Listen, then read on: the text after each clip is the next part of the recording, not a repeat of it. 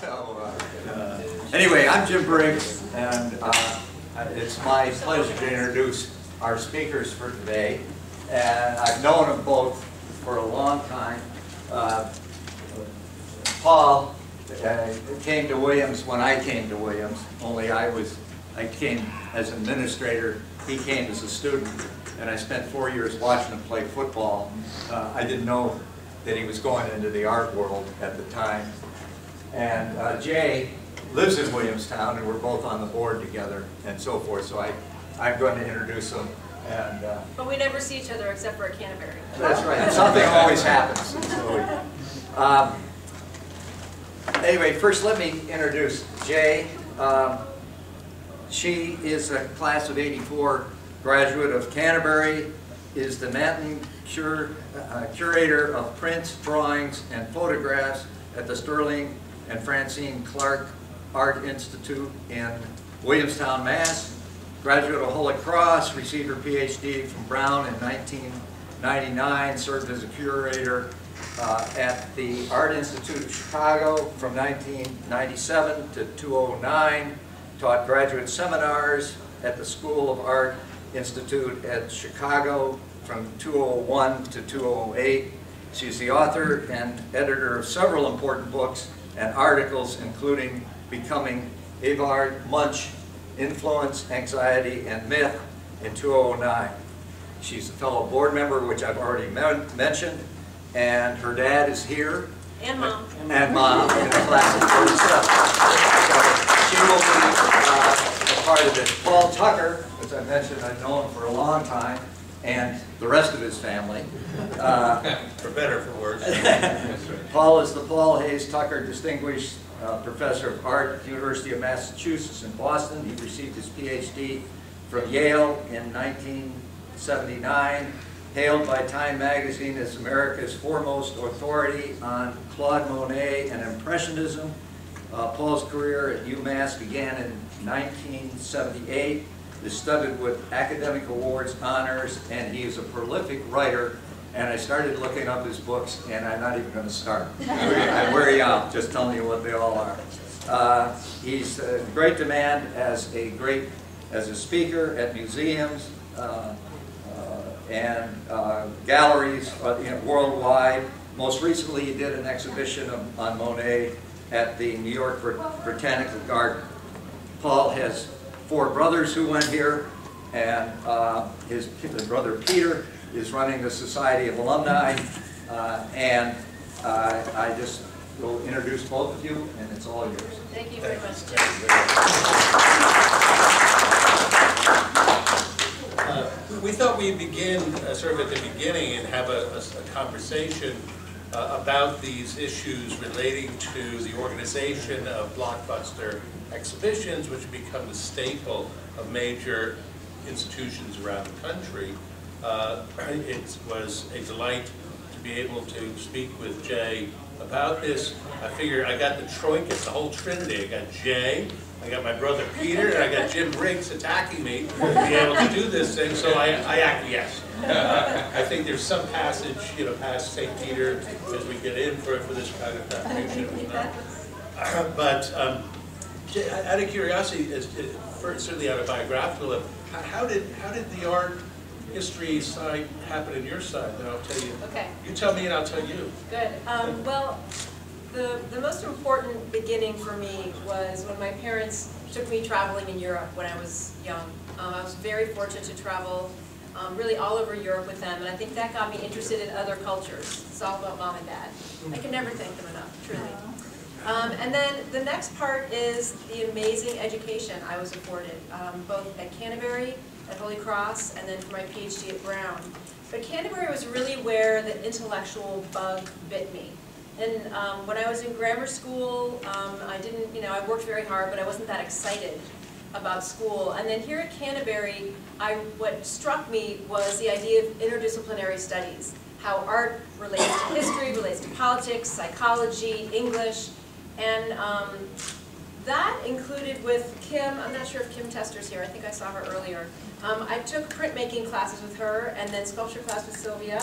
And the practice of art here at Canterbury, where a lot of schools, as you know, are cutting their art programs um, because they think it's not going to make you money down the road. But the- the arts are obviously extremely important. So I think the combination of interdisciplinary studies, being excited about learning and making art here, um, and then throughout my career really got me going. I am jealous, because when I came to Canterbury, first and foremost, there were no women, like many men in Canterbury. So that's the first note of jealousy, which I think we all would share. Second, there was no art. Yeah. There was, there was no art department, there was, there was nothing art. The only art we got was in the books where there were illustrations. And I can still remember the very first week of being here, perhaps some of you may as well, I was, of course, terrified, absolutely terrified. Not only by being here, but likewise having an older brother who was a year older than I, who had already established a certain reputation, both for intelligence and for mm, connivery. And the class I remember first and foremost was none other than Jim Briggs's. And I, and I say this in all honesty, Jim, I don't know if I've told you this, but it was in the schoolhouse. It was the first classroom on the left-hand side when he came down the stairs. He had to kind of turn back a little bit into the classroom, and it had a set of windows behind me. And I can remember the seat I sat in, in that classroom. And one thing that gave me, there were two things that gave me relief. One, that somehow you, you knew my brother, so I felt a little calmer, and you sort of mm-hmm. called me out, gave me a shout out. But also, too, and this is so touching, that, do you remember the book that we used? Okay. Sorry, Giant. Tim's had a long distinguished career. The book was a, was a blue book, it was a blue history book, European history book, it was sort of smaller, shorter, tighter, stockier That's book. right. And it was Hayes and Moon. Hazelwood. Hayes and Moon, modern European history, and our grandfather was one of the authors. Oh. So I thought, oh, wow, this is terrific. All right, at least I might survive somehow or other. But now I got another mountain to climb because he wrote the book. And as Jim has said, I've been very happy to have had the opportunity to write lots of books. I never thought I'd be able to write a book. The idea of writing a book seemed absolutely insane, no less the idea about art. Our family, unfortunately, we traveled to the grocery store, we traveled to uh, the, uh, down the street to a pool, uh, and they drove us to our various schools, but that was it. We were not dragged to museums, so I had no experience really of museums and museum culture, really until more or less going to college. And thank goodness Twitch was here, he took me personally up to Williams. I stayed with Mike Foley. I had a drink at 11 o'clock in the morning. I said, this is the place I want to go.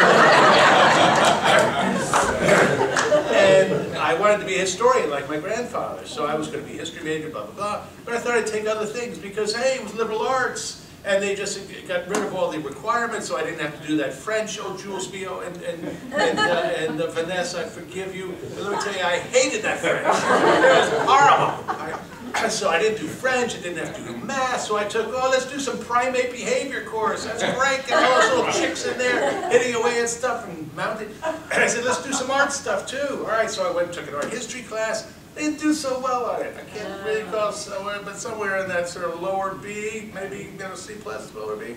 So my roommate, who of course was a wild guy, says, you're not going to take one of them again, are you? And I said, well, you know, actually it was really rather interesting. Anyway, long story short, I got into it primarily through that, through Williams, thank God, and the troika of Williams College.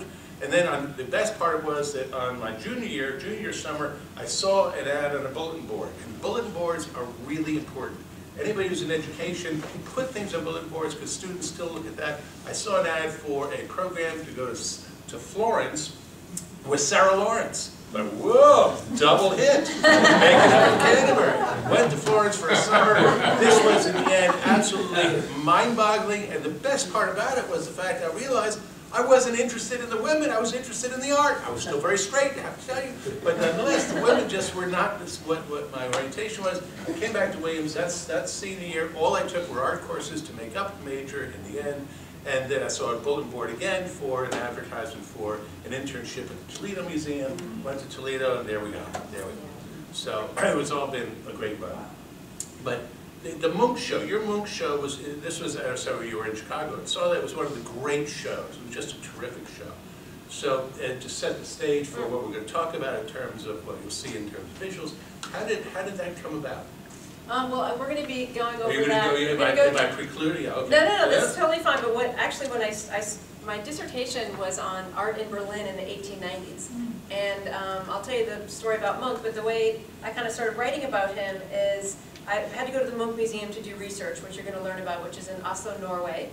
And the curator there said, you write about art in Berlin in the eighteen nineties, why don't you ever write about Munch? He was in Berlin the whole time, Munch was actually Norwegian. And I thought, oh, good question. Then I wrote my next article on Munch, and many articles and books later, there you go, that's how you become an expert. But she was a woman I really, really admired. I really admired her scholarship, and she very much helped me with my few, first few articles. And I think that's another really important thing about um, the journey that I've had, is it's all really thanks to mentors. My undergraduate mentors, my mentors here at Canterbury, my undergraduate mentor's name was Jody Ziegler at Holy Cross, who changed my life, um, and then in graduate school, Kermit Champa. You know, it's, it's really about those inspiring teachers that stand up there and make you want to think the big thoughts and do something new and, and change the world. So it's really them I have a lot to thank as well. Well, it's, it's like me at Williams. The, there are three professors at Williams who were sort of the Holy Trinity. they were uh, an Americanist, a medievalist, and a modernist. And they produced what became known as the Williams Mafia, which were individuals who went on from Williams to graduate school, then on to museums, and became, over time, the head of almost every major museum in this country. From, right now, for example, the Museum of Modern Art is headed by a Williams guy, the National Gallery is headed by a Williams guy, the LA County is headed uh, by a Williams guy, Atlanta is head- headed by a Williams guy. The list goes on and on. It's really, it's almost scary. It's as if somewhere or other there was water up there and we all, we all drank. Now, those guys, and unfortunately they are all guys, there's yet to be a woman graduate, but that will be coming. There are many women who are directors of museums. All those guys are actually you really want to know, they're the Sicilian brand of the Williams Mafia. Yeah. Some of us are the Tuscan ones. We sit upon the plateau and look down the boots of Italy to those guys who are on their motorcycles, like Tom Krens, who was the head of the Guggenheim, right, another Williams guy. They all, and even Jim, uh, Jim, um, Jim Wood. Jim Wood, who was the head of Chicago, he was not only a Williams guy, but another big biker. We on the Tuscan level rode our bicycles. we thought high thoughts. We were able to, to bridge the gap between academe and the museum world, thankfully, because the museum world is a very tough bit of business. Uh, Jay has survived with glorious uh, uh, credits and, and esteem, uh, but it is a bit of a rarity because just like in academe, in academe, it's all about blood and guts and warfare because there's nothing to fight over other than ideas. There's no money, so just go at it. Within museums, there's not a lot of money either. No? It's essentially about territory, it's about acquisition funds, it's about position, it's about relationship to the director, about relationship to clients, or in that particular case, the clientele of collectors, and how well you can establish yourself in that field. Even for, for Jay to have been able to accomplish as much as a scholar, which he had enormously, is remarkable because you have no time. You have no time. There's a constant pressure upon you. So museum people have this kind of difficult to read and to work in. It may look great when you're in there and she takes you around to see a show or something because she's got 5,000 other things to do, but this is fine. We love to have it. It's fine. That's what we say. Oh, it's fine. it's not really fine. but I love you, baby. Give me something. Uh, but just like in academia, everybody thinks, oh, there they are in the ivory tower, and you know, they all have that summer off. Summer off. Look at that, the summer off. My God, if you didn't have that summer, you'd be shot. You wouldn't have a job because you wouldn't have time to do the writing and so on and so forth.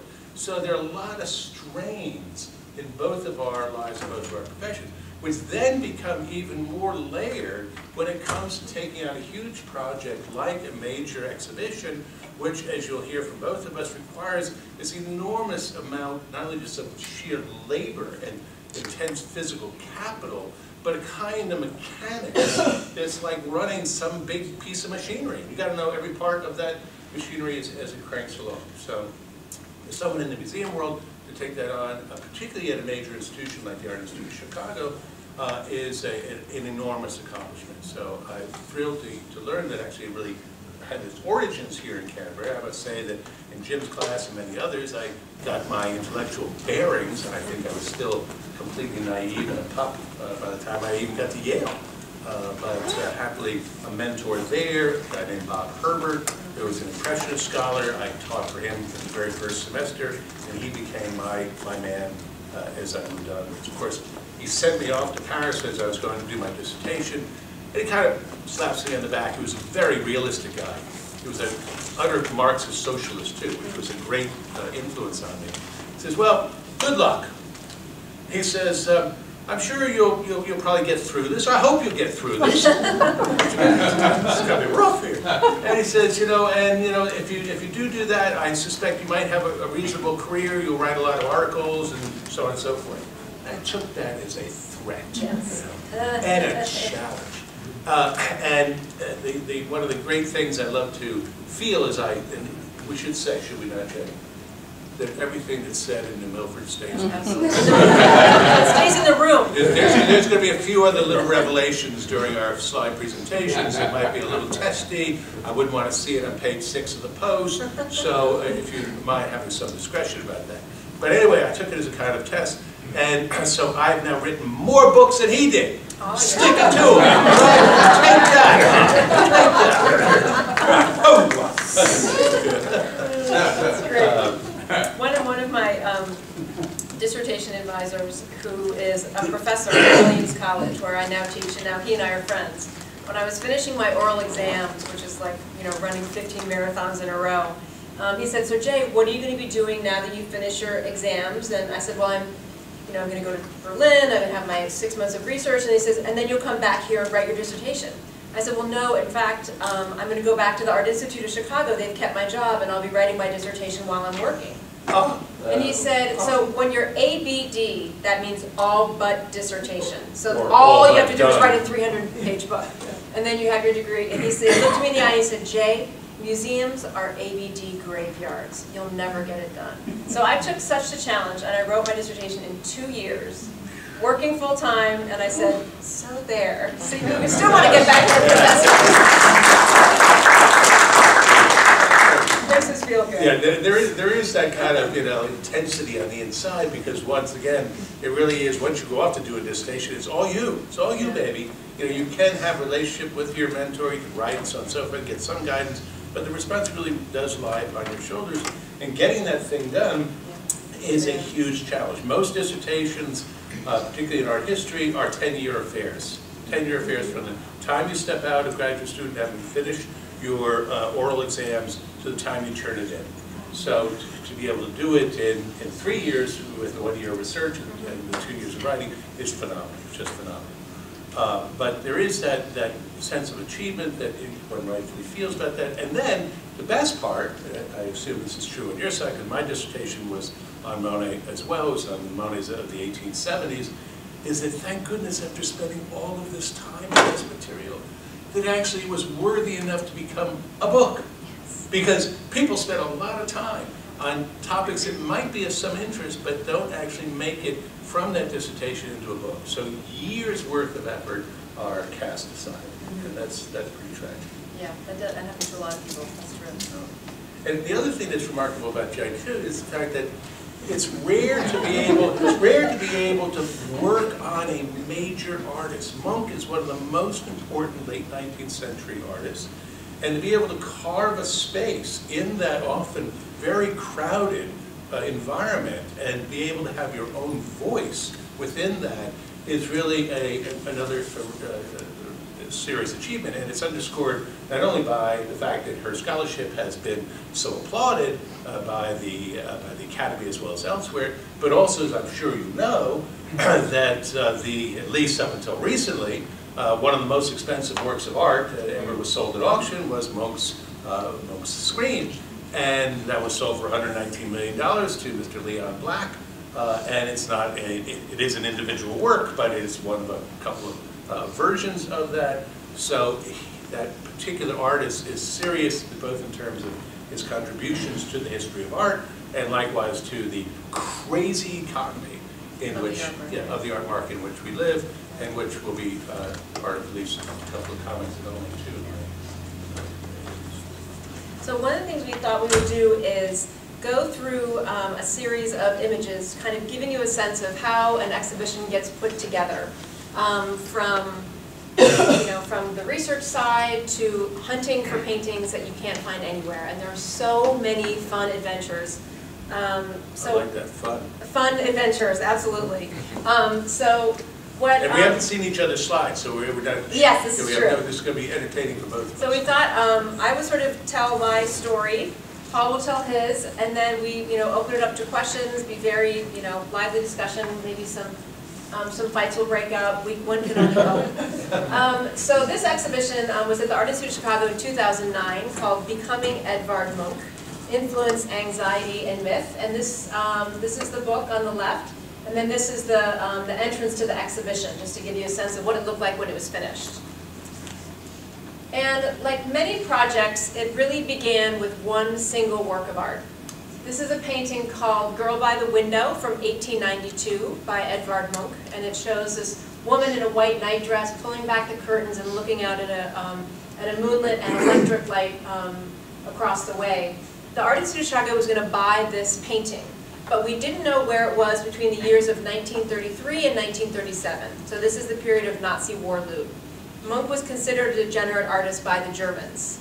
So his, his art could have been looted. Um, so I was sent, oh, and also a PS to this, is another stay in this room. The person who's going to buy the painting for us, his name was Dan Searle.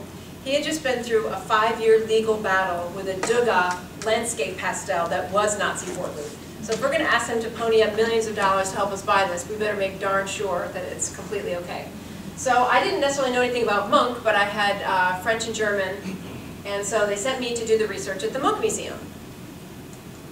So um, I went through letters and letters and letters and books. This is just a, a sampling of what's in the, um, the archives of the Munch Museum, which are really, really incredible. It's like one-stop shopping for Munch research. It's, it's really, really fun for complete dorks like myself. um, so I was going through all these letters, and what I was looking for was information about the painting, sort of the paper trail, who bought it, who sold it, you know, what, what the information was um, on this painting. And in the process of reading through hundreds and hundreds of letters, I thought, wait a minute, where's the crazy Edvard Munch of the Scream? Where's the man who was hospitalized for alcoholism and mental illness? Wait a minute, he's a businessman, he's his own art dealer, he organizes all his own exhibitions, all his own publications. He is a mastermind businessman. And you also read in letters that he's marketing himself as a crazy maker of the Scream. Like Van Gogh did not market himself. He's, he tried to through his brother. But in any case, I thought, well, there's a whole different story that no one's ever told us about Edvard Munch. And maybe that could make an interesting exhibition. So fortunately, we bought the painting. And then what happens next is this totally unglamorous process, at least this is how it's done in Chicago, it's done different places everywhere, where you have a storyboard. This is not the Munch exhibition, this is the Gauguin exhibition, which is in progress right now um, in Chicago. Sort of, these are the different rooms we want the exhibition, the stories we wanted to tell in each room. This is the period in Arles, this is the period in Brittany, et cetera, et cetera. So you kind of storyboard an idea. Think about what you could, what paintings you could possibly get or not get.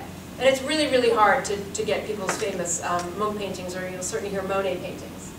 So then you get through that process, say, okay, this is our list. I, an exhibition of 150 works, this is our wish list. Then you travel all over the place. this is just one, one page from my passport up there. Because you can't just um, write the museum in Wuppertal and say, can you send me your Starry Night? Because they'll say, everyone wants our Starry Night. You have to go there and tell them the idea of your exhibition and why they want to would want to lend you their painting, um, and then they think about it, and then you send a letter, and that's, so it's a very long negotiation process. You do that times 150, that's a lot of travel. And frequent flyer miles. so the Art Institute of Chicago had this very famous um, lithograph, um, which is a print version of the Scream. It's a multiple, um, and this is probably, you know, not only Munch's most famous work, but you know, visual culture's one of the most famous works like Whistler's Mother, the Mona Lisa, is the Scream. So we had the lithograph, but we didn't have a painting. And if you want to do an Edvard Munch show, you should really have a painting of the Scream. So as Paul, late, as Paul mentioned earlier, there's three different versions of the Scream. So we thought, all right, it'd be great if we could get one of them. Now this one 1893, the first version lives in the National Gallery of Oslo. During the Lillehammer Olympics, it was stolen. It was recovered, and as a result, they will never lend it again. The next, ver- uh, the last version um, is around 1910, was also stolen from another museum, the Munch Museum, recovered. They will never lend it again. The middle version, which I knew quite a bit about, because remember the girl looking out the window? Uh, she was commissioned by a German coffee manufacturer to make another version, to make it, there's a number of versions of this painting. And his name is Arthur von Franquet. He wrote Munch, just saw your scream at an exhibition, will you make me a version, I'll pay you 200 kroners. So Munch didn't make this work of art because he, because he felt like making, he did it on commission so he could make money. So this was in a private collection um, in Norway, and the man who owned it cherished it so much he built a supposedly nuclear war-proof bunker underneath his property to secure it. Didn't want to lend it to us, I can tell you that much. But this is the work that he then sold for, um, you know, almost 120 million dollars. So, long story short, we never got one. But this is, and this is the sale at Sotheby's. It's actually an amazing, um, this is, has an inscription on it, and on the back, it has all this handwriting by Munch um, that describes the scene. Now, another painting, um, I'm not showing the paintings we got because those don't make as, as good stories. One stranger than fiction painting, this is called Boys Bathing, and we wanted to borrow it. What you often end up doing is contacting art dealers because they know all the private collectors that own the painting, specifically in Norway. This is one painting no one could help me find. Um, and so I asked another museum director, he said, I, I'm not going to mention any names here, he said, I know this guy, call him Mr. Guy, um, and he has access to the painting. So I met Mr. Guy in a restaurant in Oslo, and we're talking about the painting. He said, yes, I'd be happy to, to lend it to you. I have the paperwork. The whole time, his girlfriend is calling him on his cell phone, asking him who he's having dinner with and what she looks like. He doesn't know, as he's talking to her, that I speak Norwegian. So the whole time, he's like, no, she's not pretty. Oh. No, I, no, it's nothing like that, you know, she's married, she's, she's not that interesting, on and on and on, I'm just sitting there smiling. So then she calls like every five minutes. Finally, she shows up hugely pregnant and joins us for dinner. It's very strange. So this man, Mr. Guy, pretended to sign the paperwork. He said, I'm gonna hold on to this bit of paperwork and I will send it to you later, but we will lend the painting. Great. Sign, seal, delivered, the painting is done. One month before the exhibition opens, my museum director at the time, Jim Cuno, who's now director of the Getty Museum, gets a call from the owner of this painting. They say, the painting's in the warehouse, we haven't heard anything about, you know, when are you gonna come pick it up, what's the plan? And so Jim calls me and I said, those aren't the owners. The owner is Mr. Guy. It turns out the actual owners with this very upstanding Norwegian family, Mr. Guy was pretending to be the owner of the oh. painting. So he could then fly to Chicago and sell it off the walls. Just let's say, okay, you want to buy it for four million million dollars, then go to the family and say, I found a buyer, you get half for two million. So they never press charges, but you know, you can't make this stuff up. So it didn't come to the exhibition, um, but it's been for sale ever since. So if anyone wants to buy an Edvard Munch painting, it's probably only ten million dollars. So um, then you get all your pictures, and then you have to sit down and write a book. And usually, not everyone has two children in the process of writing the book, but that's Liam, my little guy who's now 11 years old. And that was the office where I wrote the whole book. You'll notice there's all sorts of back padding, because you sit for hours and hours on end. Um, so then this is the book that came out um, in conjunction with the exhibition. This is the exhibition uh, finally on the walls, um, many different, the, one of the first rooms and one of the last rooms. So that is my story of how an Edvard Munch exhibition comes together. And if you think you have to do that once a year, it's a lot of fun. So now let me get you, let me get yours up. Now we get the story of Monet.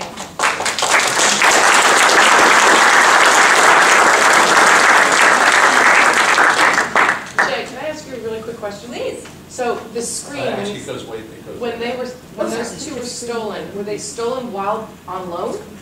No, Or they were they were, stolen out of the they were stolen out of the museum, literally. Yeah, the, um, is this the first one? Yeah. Okay. Uh, yeah, during the Lillehammer Olympics, someone, uh, took a ladder up to a window, walked in the window, took the painting out through the window on a ladder. The Munch Museum, they were, they were armed robbers. They came in with guns, and the police in Norway, and also the, the guards don't carry weapons, and the police also don't carry weapons. So they stole it, they finally got it back a couple of years later. Yeah. Did they end up paying a ransom to get it back? or- They did not pay rent, that's a very good question, they did not. Um, I think they, that was their hope, but they eventually put in jail. And the, the general idea, or the, what people say is, they didn't steal the painting to sell it, because you can't sell it, it's such a famous image. They stole it as collateral for drug transactions. Jackie? Uh, Just, a- it's an interesting question, given the value of art, because there's higher prices for art than the- the- for the Scream these days. I think there was a picture that sold for 179 million within the past month. Uh, Is, does that, what, how is that, what are the implications on the prices for, for theft? of art? Well, An the, um, appropriate question from a man from in the insurance world. there you go. Um, Thanks, thanks to Chubb, I don't know if you work for Chubb, but thanks to Chubb. In any case. Right, um, everybody, everybody should have Chubb. Get Chubb, bub. Plug, So- plug, plug, plug. Oh, did you work for Pete Chubb? Peters, the head of Chubb Ah, in I did not know New York. Head of that. Chubb in New York. If you're in New York region, see the man. Go to the man. He won't give you a deal, but he'll. If you go to Canterbury, it's a discount. What's said in New Milford? Yeah. So what happens is for an exhibition such as um, this one, or one that just opened at the Clark, opens today, Vincent van Gogh, huge, huge prices. So what you do is you have all the insurance values, we know the insurance values are of each work of art in the exhibition. What we often do is we call, we apply for an indemnity by the US government. And the US government will often give museums indemnification um, if something happens. So it's, and let's say the indemnification is for up to $400 million. If you have a Van Gogh exhibition, the chances are you're gonna have to buy extra insurance for the amount of money that's, for the work that's in the building. Um, And then you have, the museum has its own insurance as well. So it's usually a combination of getting an indemnity. For an exhibition like Monet or Van Gogh or Munch, if you don't get an indemnity from the US government, the exhibition may just be too expensive to have, because you can't afford to pay the insurance. Another thing that happens is you have to apply for an application called immunity from seizure. So um, I'm sure you all remember what was in the news many years ago when an Egon Schiele exhibition was up, and someone tried to claim these paintings as Nazi war loot, and then the New York police came in and seized the works of art. So immunity from seizure basically makes sure that whatever is sent from, let's say, Vienna to America for an exhibition will then go back. It won't get seized. It will be returned to its original owner. And those applications are hideous. I mean, they're just hundreds of pages.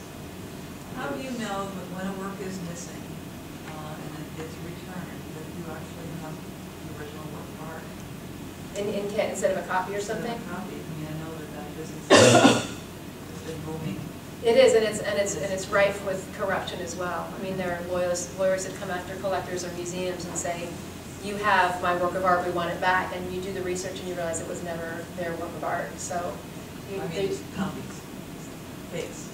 I mean, I think we, usually an expert would get involved and you would know if it wasn't, I mean, if you're a private individual and you didn't know a real from a fake, that could be, that could be problematic. But a, a museum or a scholar would cer would know if it was a fake or not. Well. Well, there's.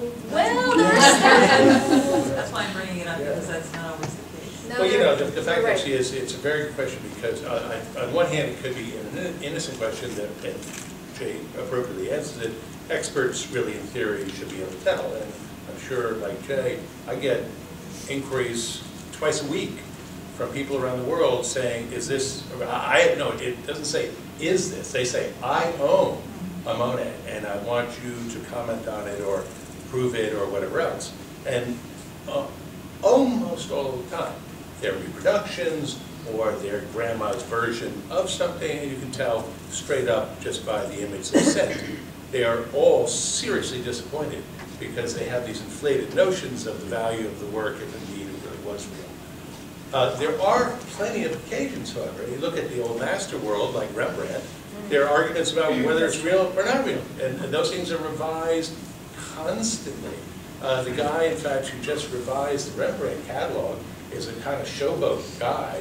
And he, in fact, has, has reorientated the catalog by about 130 pictures.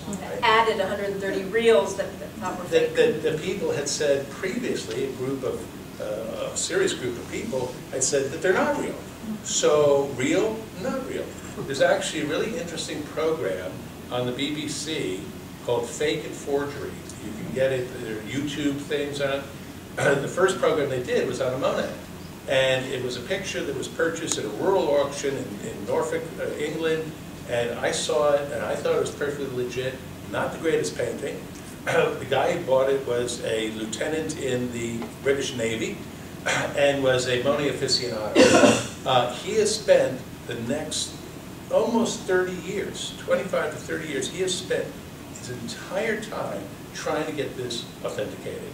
Uh, And the program, I won't tell you the, the end of it, but the program was so gripping that even my wife, who knew the ending, screamed. When, when almost a Munch, you know, screamed uh, when, when this picture was presented. So it's a really interesting problem, and it raises other issues which uh, Jay would certainly uh, uh, rely upon. That is, for all of us in the business, there are things called catalog raisonnés. Catalog raisonnés are the collection of works known at the time that have got all the documentation as good as possible, generally an image of the work, the uh, size, dimensions, uh, and uh, materials of the work, its past uh, history in terms of who owned it, where it has been exhibited, and where it appears in the literature.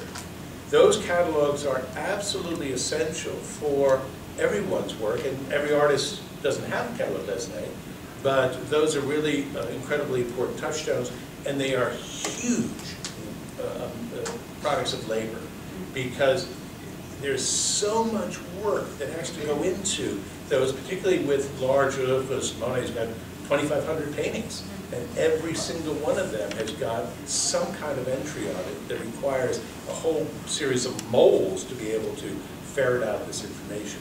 Now, catalog entities like the Rembrandt catalog uh, are going to be debated. Uh, The most recent catalog raisonné which has just appeared, you can see it online, therefore it doesn't cost you, because many of these catalog raisonnés are hugely expensive. You can go online to uh, Mitchell Innes and Nash in New York, and David Nash has uh, redone the Cezanne catalog raisonné, at least for the paintings. And it's a terrific idea to do it online, because that way it can stay flexible, it doesn't, it doesn't have, it can, it can change, doesn't go to the uh, process problems of printing and so on and so forth. So these are, these are, these are tested little affairs.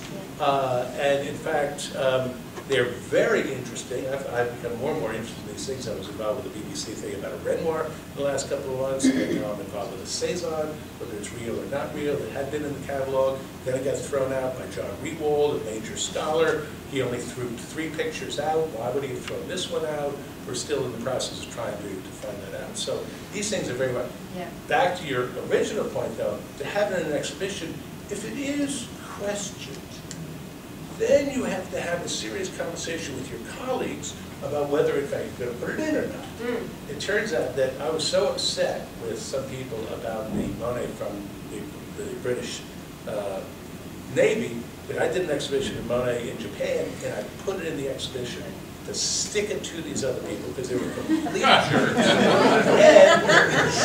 remember, and, and to give it some provenance, to give it a certain basis to go on. And then we can talk about it. You know, I don't think I'm wrong, but know, if you present other evidence, I'm more than happy to uh, be open-minded about, about all of that. And museums do buy fakes. There, every museum has a big boxes of fakes. In the Art Institute of Chicago, not that long ago, bought a fake Gauguin sculpture. And it was in the catalog, we were talking about the catalog raisonné, it was whereabouts unknown.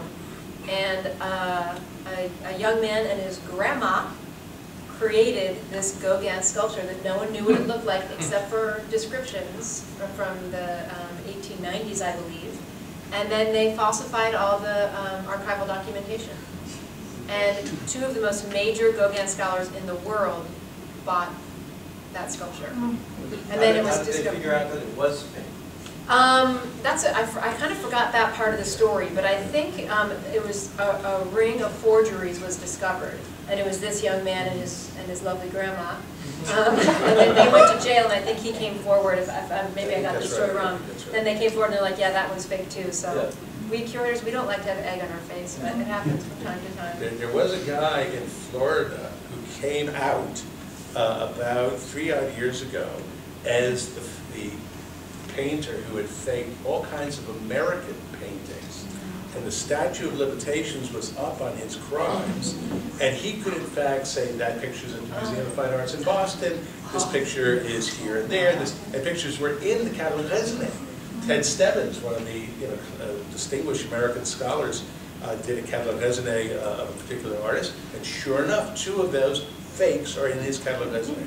So we all can get faked out. Yes. We all can get faked out. It's, you know. And Paul, there's a movie on that guy from Florida. Oh, is there? Oh, yeah, really? He really? shows how he does it. He says it's so easy. You just throw coffee on it. Oh. Yeah, he does all this kind of, Hilarious. you know, I have to thank He's you for very that. crazy. I, I thought he was very brazen, and at the same time, he was very proud, a lot of times. Oh, he was. A lot of times, Absolutely was. he, he, he- he's someone who has a real talent, and it's amazing, because he, he, in fact, did lots of different Yes, kinds yeah. of art, it wasn't Oh, just yeah. one. Yeah, and Uh, lots of and- forgeries. And it's a good film. Well, I'll have to take a look at it. One of the, then we'll- I'll get on to my thing off of this one, but one of the biggest scandals, and it's still unfolding, is the scandal about abstract expressionist pictures, Pollock, uh, de Kooning, uh, Rothko, and the like, that a woman named Rosales out of Long Island and her cousin from, uh, from Madrid had been pushing through the old gallery called Knoedler, which was the oldest gallery in America. Knoedler is now closed. It's a scandal which is still evolving, and I'm sure you'll see, still see things in the press. Uh, One other thing that Jay had mentioned, the fact that, you know, if you're gonna do this every year, obviously, you can't do major shows like that every year. Indeed, I'm not, sure how long the Munch show uh, took to organize, but most of them take three to five years minimum.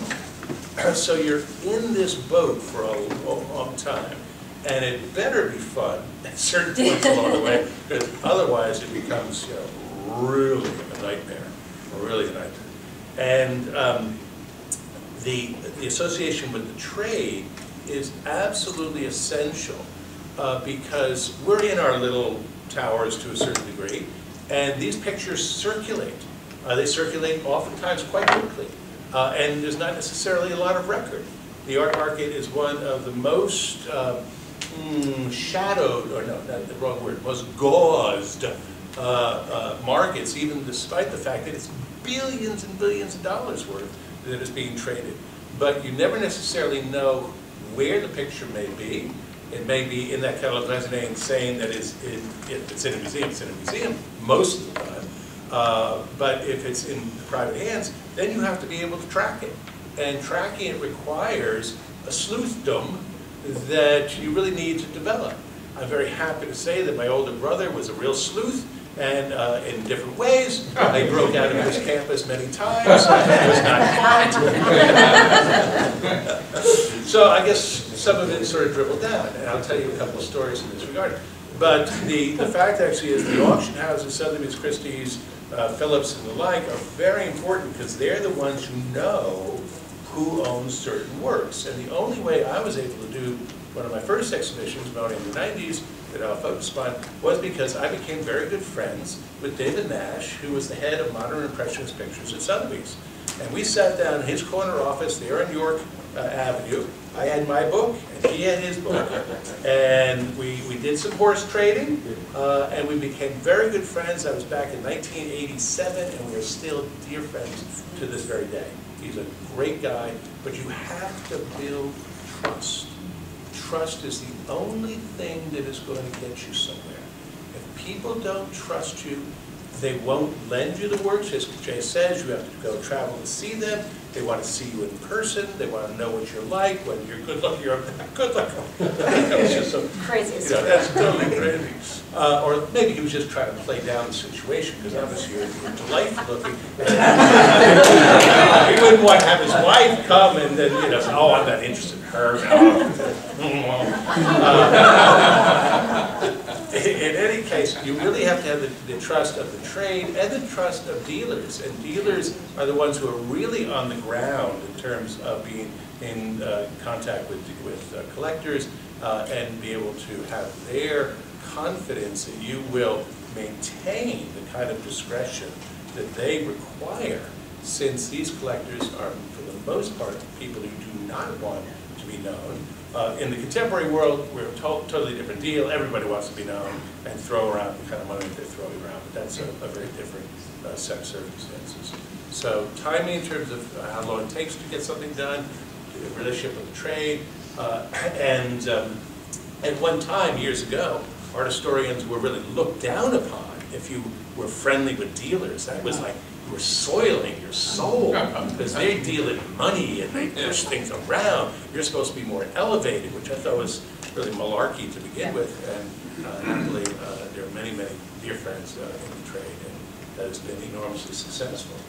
Um, so I, I'd like to talk uh, about uh, the man who I've uh, been so allied with uh, all these years. Happily, I have uh, branched out. Most people think I'm only a Monet guy, but did a book on Manet, and I've done contemporary things, and Kenneth Noland, and David Smith, and uh, other stuff too. But Monet is really my man. Monet is my man. And I am so proud and so happy to have been aligned with him for all of these years. He is amazing. Uh, he's born in 1840, didn't die until 1926. So he lived, you know, a quarter of his life in the 20th century, which we often forget. We push him back into the past. He was someone who, in his 80s, did his best work. It lies in front of us, women. It lies in front of us. Don't think we're all, you know, done at the moment. And that, to me, is awe-inspiring in the best of ways. Uh, we see him there on the right-hand side in his studio there in Giverny, uh, in front of those monstrous, magnificent, monumental water lilies, which are now in the two rooms of the Orangerie, which he began in uh, the years of the war, uh, and which he donated to France uh, in the, uh, at the end of the war, and actually had installed in 1927. He didn't actually see them installed themselves, but they are some of the most magnificent rooms uh, in the history of art. And I urge you, if you go, uh, to go, if you go to Paris, go to the Orangerie, pay the big bucks. It's very expensive to get in, but I guarantee you it's worth it. It's really magnificent. They recently restored it. It's quite beautiful. Uh, in any case, he's someone who has taught me an enormous amount. Someone who's led me around the world, I'm sure like Munch as well, both to uh, sites where his paintings were painted, which are terribly important. Being a landscape man as he is, you have to see, literally see what he is painting to be able to understand what his pictures really look like. Uh, that to me has been one of the great pleasures about it. Uh, I, the only place I've not been, ironically, I hadn't thought about this until this very moment, the only place I have not been where he painted is Norway, where Munch was born. So uh, in any case, at some point. Uh, in fact, uh, we were saying to, to uh, about, oh, that's, that's, that, which one's forward? That's backwards, that's here, and that's, I was talking about, about to Jim, saying, you know, the, I, I couldn't imagine having written a dissertation, as I'm sure, Jay, you thought about it as well, the idea of writing a dissertation, two or three hundred pages, you gotta be kidding. And then that dissertation was the Monet and Argenteuil book, which became a book, and then I thought, all right, that was, that was successful as a study of the 1870s. I knew somebody else was working on the 1880s. I said, well, I'll, I'll take a look at the 1890s, which became the Monet in the 90s book. Uh, and then after that, then sort of concentrated on the series. And then I said, well, we really should, we need a book that's going to tell the whole story. And that became the Monet Life and Art from 1995. And then the Monet in the 20th Century was an invitation that came from having done the Monet in the 90s show to be able to look at Monet's 20th century work. So I never had it all planned out, as, as Jay suggested before. These things evolve. Uh, and happily, this has been a terrific train to have been on, I guarantee you. The service has been terrific. In fact, so, so associated with the man have, have I been that friends, relatives, wives are constantly saying, you're really just channeling the guy. you know, he, he needed a voice, so, so there you are.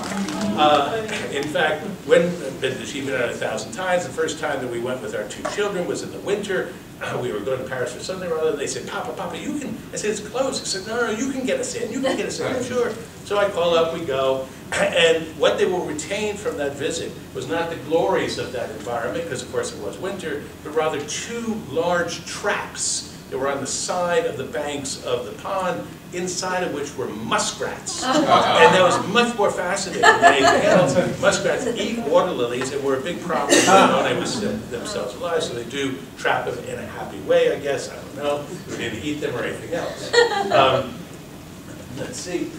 One of the things that is certainly true is that over the course of these 25, 35 years of working on him, that prices have just risen enormously. That's true with a whole variety of artists, but particularly with contemporary. You have to separate contemporary art really from everything else because it has no, no relative uh, uh, sort of correlation. Uh, you could buy, for example, an entire old master auction at Christie's or Sotheby's for the price of that Picasso from 175 million, 179 million dollars. The whole auction, you could buy every single work of art out of thing, but people are not interested in that. The one thing I find terrific is that my man has held up. He is in there. He is in there, right? In fact, in the most recent auction this past spring, which Sotheby's did, and they, they put a couple of uh, uh, 19th century works in with contemporary things. There was a Monet of the Houses of Parliament. That baby made 40 million, all right? 40 big ones. That's great. That's a man. And I say that with, with enthusiasm because he too was interested in money at the time, and I'm sure he is gloating. The highest price paid for a Monet was in fact thi- at this very auction right here, where Christopher Burge, the auctioneer for Christie's, is pointing to a terrible reproduction of a very large Monet, two meters by one meter, that went for $80 million. And he is leaning down to this uh, wonderful woman over here, who's a dear friend, saying to her, take as much time as you would like. That was when they were somewhere in the vicinity of low seven, uh, uh, seven, uh, I think it was like seven- 72, 73 million dollars, something like that. In any case, 80 million dollars, crazy price. You couldn't get that necessarily for this picture today, but maybe. Uh, What is also true, if I do that one more time, I'll shoot myself. What is also true is it's become big business. We talk about authentication, that's why I I sort of like your question. I just, uh, sheer happenstance, Free Freeman Art there upon the right, you could go on the internet, and I don't know who this person is, male or female, what the organization is, but look it up on the internet, Freeman Art, and they will authenticate your work of art, this Monet. They have, I have no idea, it's a complete sham. It's a complete and utter sham. Getting Your Money's Worth is actually the title of an exhibition that was a contest at the Royal Academy in London where they had contemporary artists paint works of art and be able to see if they were going to pass the muster of a, of a particular jury, and then they were going to sell them at the, at the, at, the, uh, Show Me the Monet was also another one of those BBC kinds of things. And then someone trying to be able to be me, Paul Hayes, here left-hand side, cash in the attic. They, they just dropped the Tucker for my protection. I had my lawyers make sure that I was not in the photograph as well. The whole idea there was to be able to, of course, find works of art that might be in your attic or your closet, and we'll auction them off, we'll make money. It's all about money. It wasn't years ago all about money, it was really about the work. And this is something that's been sincerely uh, and solely lost. In fact, it's, it's gotten so crazy that Dolce Gabbana in 2008 had a line of clothing for water lilies. So here's this fantastically beautiful dress. I mean, it's an incredible dress. It is modeled after the water lily there upon the right-hand side. I have no idea how expensive that dress is. But it's not just, of course, the dresses and the fashion. It's also the hipsters, the hipsters. These, these babies, you can get this on the internet even today, right now, right? So you can be as cool and groovy as Monet was as well. So, and this is what happens when you do these big exhibitions, at least with an artist who's colorful, not one who's crazy and drunk and, uh, and has all these psychological problems, as Mr. Munch does. Right? Uh, although Macaulay Culkin, Macaulay Culkin in Home Alone modeled that image uh, after the scream as well. Anyway, Monet uh, really is all about, in some ways, all about this extension out from the work itself. But he is an artist of such consummate skill and such diversity. for example, one of the great shows at the Clark uh, in the last couple of years was, in fact, showing the public that he was actually a terrific draftsman. Began his career really as a draftsman, as a caricaturist here on the left-hand side, wonderful views of the Normandy coast there upon the right, and when he's in London doing these pastels there on the right-hand side as well. Many people didn't know this, uh, in part because those works have been obviously less circulating in the public realm, uh, and he's often known more obviously as a painter, but those drawings are fabulous. And there's lots of things to discover about this artist, and who, as I said, who has taught me an enormous amount. We think of him as a painter of flowing fields and gardens and beautiful women, but he painted lots of pretty tough pictures, like factories such as you have here, or an image which looks more like Gary, Indiana, or Pittsburgh, PA, in, in earlier years than the beauties of Impressionist France. And all of these are intentional, they all have meaning. And just like Jay, being able to find all those letters and realizing that the Munch was a calculating businessman, so too was Monet. And he had many dimensions to his personality and many meanings to his pictures. In fact, the, the picture, which in theory is the emblem for Impressionism, is this one here called Impression Sunrise at the Musée Marmottan. And nobody had ever really looked in the background here, but these are pack boats over there and factories back over here, puffing out smoke here, with big five-masted clipper ships that are actually coming from, from New Orleans, bringing cotton to be able to be uh, milled in these factories here in Havre. Here on the right-hand side are actually cranes, thanks to Billy Gilbane and Gilbane Construction, who are enlarging the port here upon the right-hand side. And it's being done, of course, at a moment in the, in the uh, early 1870s where you literally have a sun over here rising, a new sun rising because it was just after the Franco-Prussian War where France had been destroyed, humiliated, and this is a painting about France rising, amongst many other things.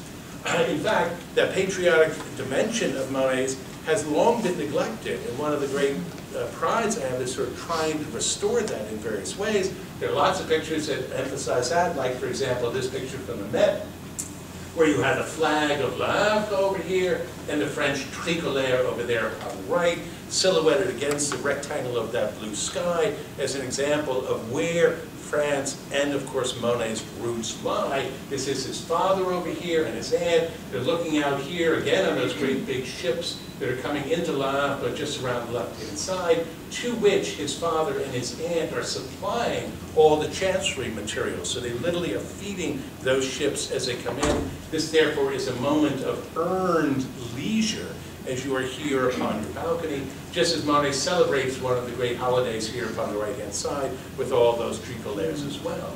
The same is true, finally, really even with the water lilies, because those water lilies began with Monet's offer of a gift of this painting here upon the right, and one water lily, this painting here done during the war, traumatized as this tree trunk is, much like Monet himself, who heard those guns rattling there in Giverny, and even gave food to victims that were being housed in Giverny itself. So it is a patriotic gesture. It's someone who is a man who believes in his country and who wants to be able to make art therefrom. In fact, that really is the heart of this Monet in the 90s exhibition, which occurred at the Museum of Fine Arts Boston, at the Art Institute of Chicago, and went on to the Royal Academy of London in 1990. There happened, it just happened to be 1990. It was called the Monet in the 90s. There were some people, I will say, said, really, he's still painting? I didn't, I didn't deny that fact, however. Uh, in any case, uh, the point really was to reunite what became known as the series paintings. In the 1890s, he began painting pictures in series. So he painted, for example, 30 of these stack pictures. Uh, he went on and painted, in fact, uh, 30 of these cathedral pictures. And they've been scattered throughout the world, except at, uh, at uh, the Art Institute of Chicago, which actually has five of them. The uh, Musée d'Orsay in Paris also has four of them. But other than that, there's sort of one or two all around the world. They never had been gathered since Monet exhibited them in the 1890s. And the or origins of this idea came from Williamstown. The Clark Art Institute owns a cathedral painting that George Heard Hamilton, distinguished art historian, purchased as his first purchase for the Clark. And I love that painting. And as a art history major in my senior year, I was allowed to give tours of the art uh, of the Clark, and I'd always end with that picture. saying, wouldn't it be wonderful someday to reunite those cathedral paintings? You know, that was an undergraduate romance, and it became a reality about 20 years later. So it was deeply satisfying to have these together, and it was very moving also because, of course, the Gothic cathedral, the Rouen cathedral, is in that Gothic style. The Gothic was established in France with Saint Denis in 1099. It was exported throughout Europe and even here in the United States. It is a distinctly French style. And France was under enormous pressure in the 1890s to be able to reassert itself as a cultural, its cultural hegemony against the pressures of America and a variety of other concerns. Uh, and the other factor in, in, of course, organizing these shows is just getting them together. Uh, one, as Jay says, they're scattered throughout the world. And when we began this project, we actually didn't know where literally half of these series paintings were. There were people who said, it ain't gonna happen, because if you don't get enough of them, it's really not going to make a difference. And I vowed that even though there's some series that only have four pictures, we had to get at least three for every one. And for the larger ones, like the cathedrals or stack pictures, I wanted to get at least 10 to 15 of them. So really, you would have the impact of what Monet had in fact intended, which nobody had seen since the 1890s. So in point of fact, uh, we were able to achieve that. We actually had 15 stacks. We had 11 cathedral paintings and many others throughout the, the, the series as a whole. There were, there were stumbling points along the way. For example, these two fabulous cathedral pictures are at the National Gallery in Washington. And they were given by Mr. Widener, and Mr. Widener said that in fact, they can never leave the museum. And that is true with a variety of other pictures. For example, if some of you are Connecticutians, uh, I would urge you to go to the Hill-Stead Museum in Farmington, Connecticut. They've got two beautiful stack pictures, and they wept, as did the director of the museum uh, at the time uh, of, the, of the National Gallery, because they can't lend them. The Hill-Stead pictures have to stay at the Hill-Stead, so I urge you to go. It's a fabulous uh, trip and a wonderful museum. So those are out. In any case, there are other problems too. Uh, this is not, this is making Peter a little uneasy down here. uh, but, you know, pictures are put at risk. There is no doubt about that. Hand, art handling has gotten 150% better. But there are times where terrible things occur. Forklifts go through the, uh, the crate and comes back with nice little slits in them. Or in this particular case, I don't know if you had seen this a couple of years ago, but in Dublin, a visitor to the museum literally punched this Monet and caused that tear. Right? It is now all sewn up, you can't tell the difference, but it is no longer what it was. So there's a natural uneasiness in the part of collectors to be able to resist that. That's why you need to convince them. In my case, was that you own one of the cousins, and we are having a family reunion, and your cousin will be sorely missed and demeaned by Uncle John and Aunt Jane if it's not there. They finally understood that mostly. One of the things about handling, however, is you have to be pretty delicate about that. And I do not understand this photograph. Here is a woman who is, in theory, by herself, holding a very heavy painting with a serious frame.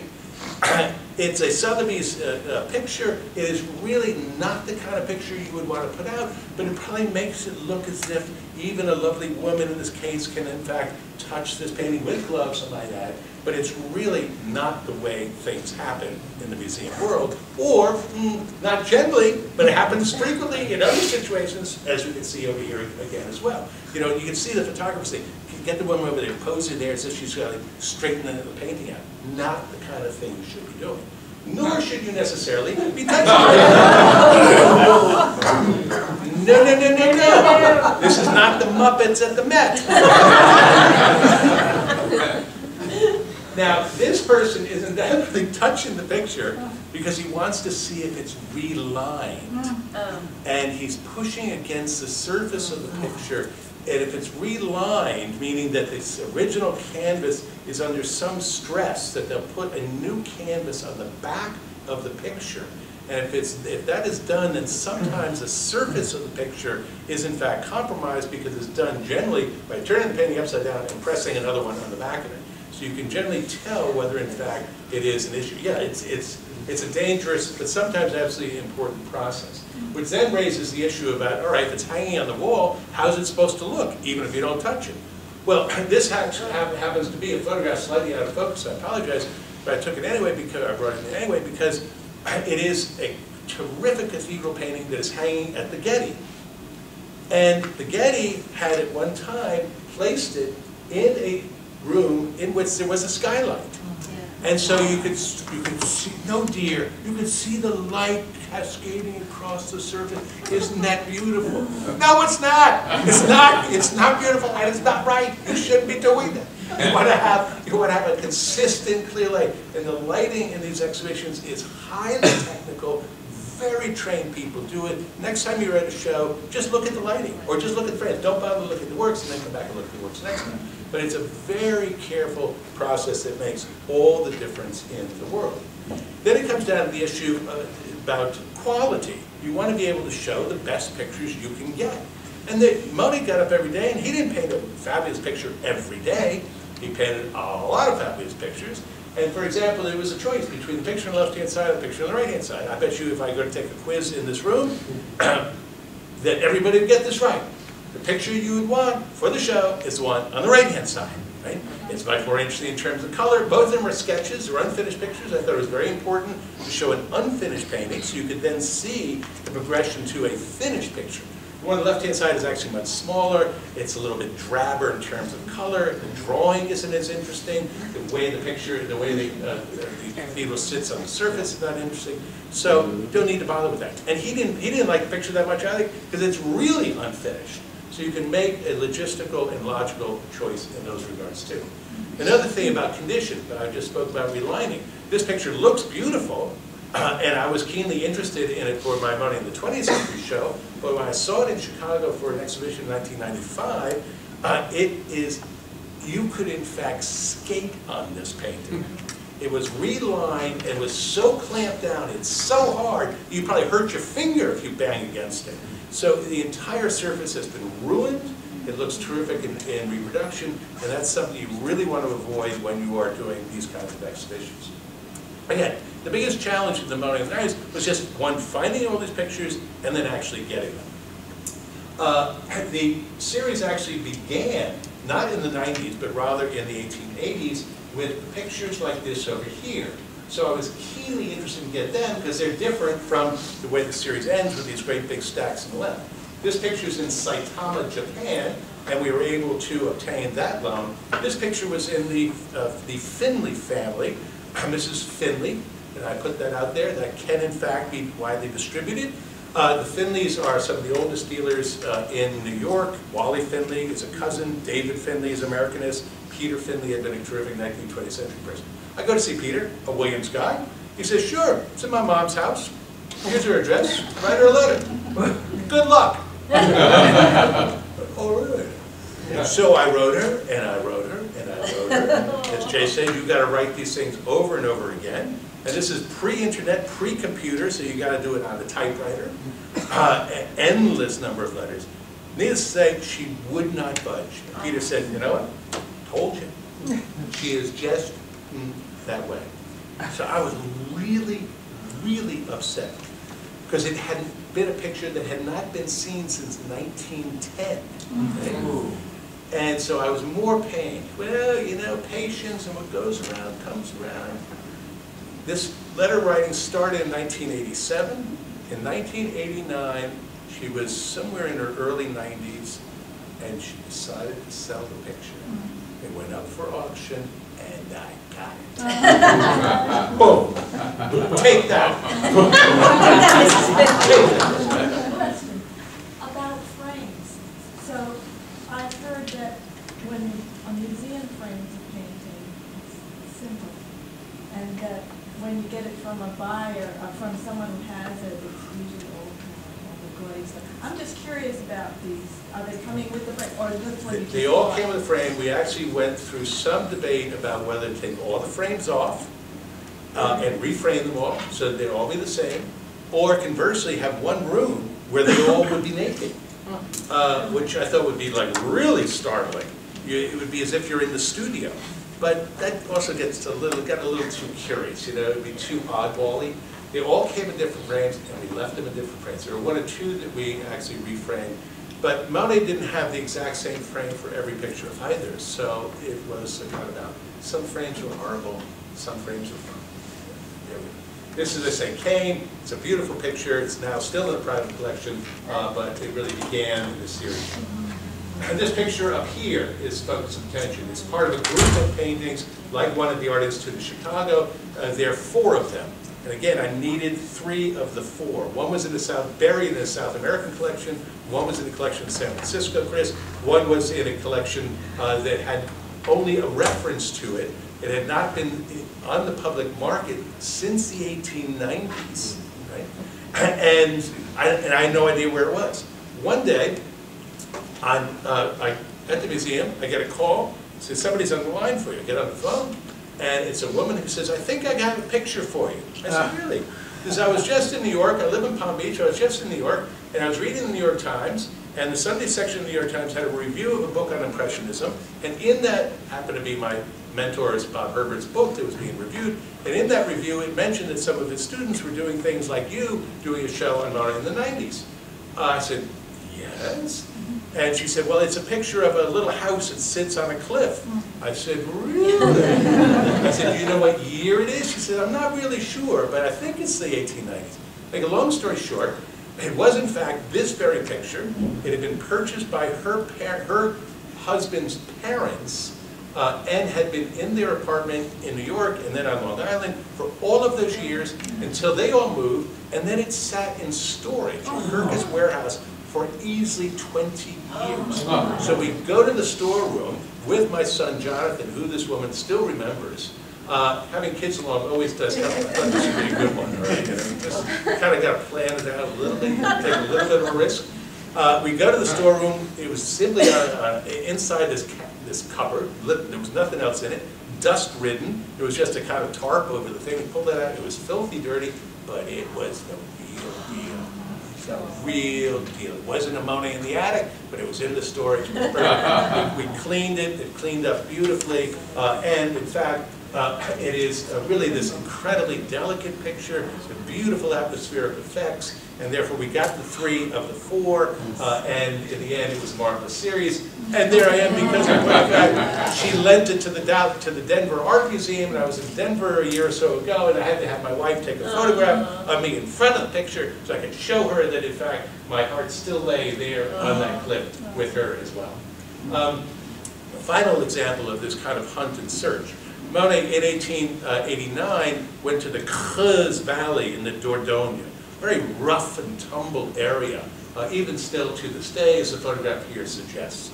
Uh, and he painted a number of pictures, like this one here up on the left-hand side, of these amazing cliffs over here. This is this cliff right over there. Uh, and he really became passionate about these pictures. They're unusual pictures, and they're pictures which in 18, in the 18, excuse me, in the 1980s were very little known. You could almost give these paintings away. Uh, they really had almost no monetary value, $40,000, maybe $50,000. In any case, the MFA had two of them, one of them here on the left-hand side. And I was keen to be able to start the whole exhibition and base the idea of series upon this group from 1889 because they were completed as a group, they were shown as a group, and they were reviewed and remarked upon as a group. So here's just a, a smattering of them. However, the picture that became of keenest interest is this one here. And that's because it was owned by two women, two sisters in Boston, who had exhibited once in the 1890s, and it had not been seen since 1905. And I said, I'm going to get this picture. and I'm going to get it because it came up for sale at Sotheby's in 1969. I had the catalog for it, there's the image of it. I go to Sotheby's, Sotheby's at that time, this was in- again in the late 80s, literally had no kinds of automated record keeping. They literally had shoe boxes with cards in them. I mean, it sounds utterly medieval. And they did not know who in fact had bought the painting. They thought that a woman whose name is Madame Blatas, who was an old dealer in Paris, had consigned it. Boom, on that plane to Paris, go see Madame Blatas. I sit there, she is in fact quite elderly, we have a lovely conversation, I bring the actual physical catalog uh, to her, and she's looking at it, she says, oh yes, I sold that Daumier, oh, oh yes, that Renoir was mine. So she remembered those things, she kept looking at this picture and says, hmm, I don't remember that. She said, you know what, I know, I remember who bought that picture. Liz Taylor bought the picture. I said, Liz Taylor bought the picture. Really? This is great. Ah, Boston's gonna like this one. Right? So we're thrilled. She says, yeah, in fact, I remember the auction room. Liz was on one side of the room and Richard was on the other. And they were bidding against each other, even though they were still a couple. I said, this is great. Love the story. This is fine, blah, blah. I can go through all the connections to be able to find her agent, her writer, and everything else. We're now coming up to the time when the show is supposed to open and the book is going to go to print. She agrees to, in fact, have, we finally got all of her, on a Friday, she agreed to have a photographer come to her Belvedere Hills house, photograph the painting, FedEx it out on Monday, boom, I'm there at the museum, I hold it up. It's not this painting. Oh. Uh-huh. It's another Monet. Like, you got to be kidding me. I call the photographer up, I say, Jay, this is the wrong picture. Did- Didn't you know there was a Creuse Valley picture? He says, this is the only one they showed me. I said, well, didn't you look around? He says, no, in fact, I, you know, just was there. I said, oh, we're back to square one. I said, you've got to be kidding me. I was back on a plane to Paris uh, by the end of the week to see Madame Blatas again. Madame Blatas, by this time, had had a hip operation. So her maid is, says, I'll get her upstairs. What do I do? I scour that front hall. I am in every room, because I figured she had led me on some kind of wives' tale to be able to find, find the picture through, through Liz Taylor. No picture. And I I immediately get my seat, Lady Bird come down, she's fine, come down, we chit chat away, and she still didn't know. She just did not know. I thought, I am, I'm dead in the water. I go back to Sotheby's yet again, and they said, well, you know, maybe the picture got bought in, and it did not sell. I said, okay, that means that somebody didn't, didn't buy it, so they take it back, and they had to send it back to a consignor.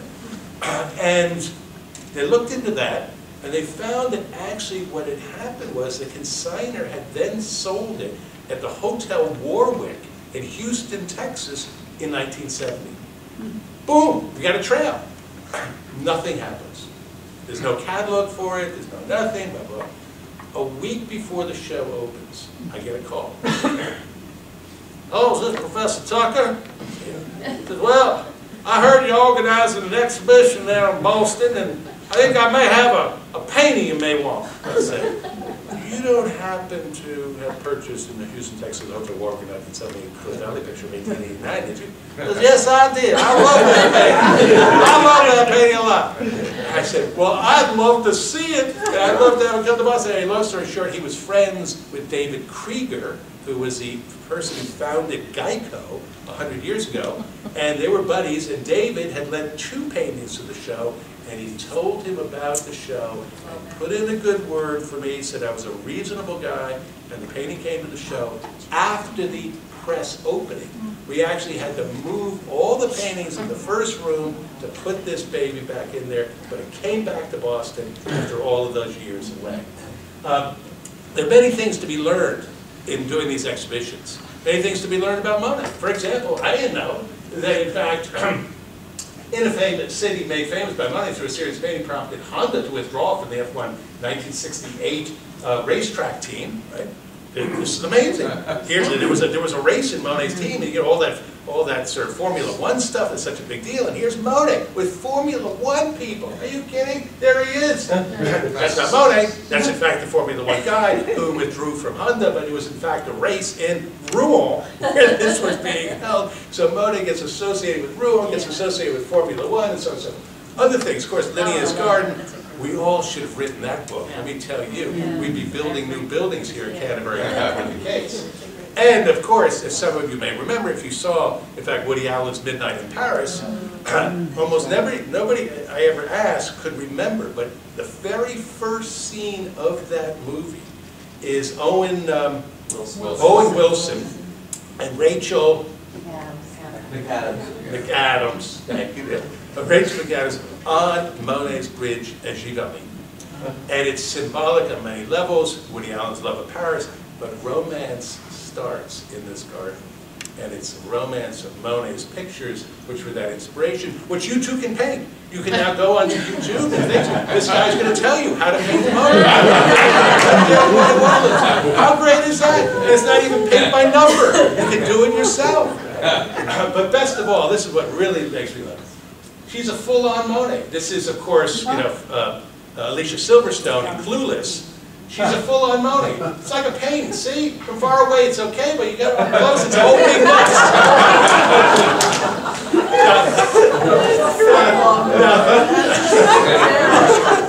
Now, this girl needs some education, and that's what these exhibitions are always about, at least from my point of view. The pictures have got to educate in some way or the other.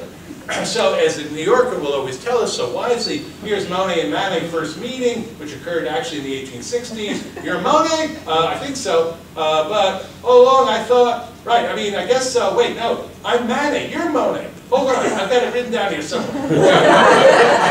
One of the classic lines I've ever overheard in the National Gallery that occurred was two women looking at a Monet. And one turned, this is true, honest truth, turns the other and says, now, is it Monet or is it Manet? Oh. And the other woman says, I've heard it both ways, so I guess both are okay. that's, that's why we need, that's why we need education. Tell us again about Monet, Grandpa. That's what we need. We need to be told again about Monet, so that the loneliness of the curator there on his on his pad with his Monet Monet, the with the Monet in the '90s shirt here and the Monet in the '90s bag, the loneliness there as we struggle to be able to get those pictures and make sense of the world has fruition. Thank you. Yeah.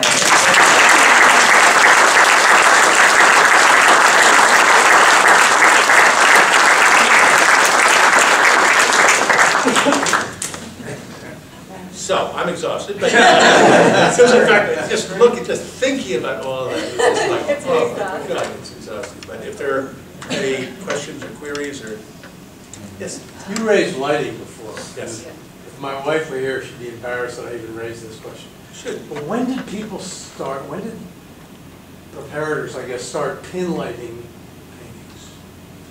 And why don't they stop?